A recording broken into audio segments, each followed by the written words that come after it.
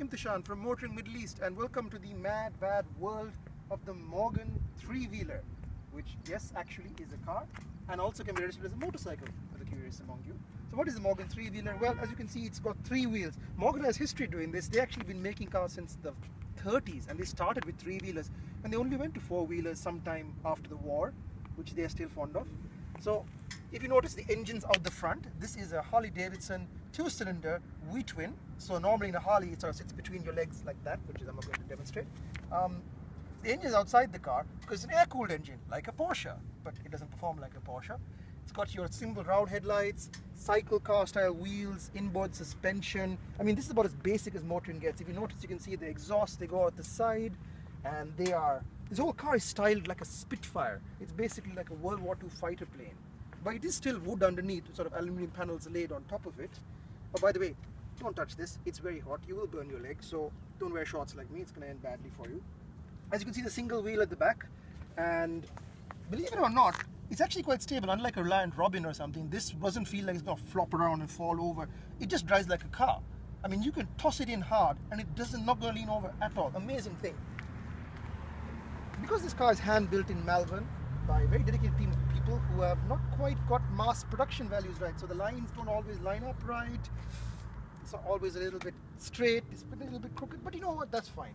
For charm, you can't beat this car. It is better than a Ferrari, frankly speaking. Let's go to the interior where there is absolutely very little to talk about. But first, let me try to get into the car. So one, two, okay, right. Okay. Hands, please don't fall down. Okay. Then bum in. And here we are. As you can see, Morgan doesn't believe in instrumentation. So these are aircraft style dials from VDO. And this is your entire range of switchgear. On, indicators, actually no, this is hazards. These are lights, which I shouldn't turn on because it will drain the battery. These are fog lights. This is a handbrake and it's the fly off style. So if I pull it like this, it just flies off.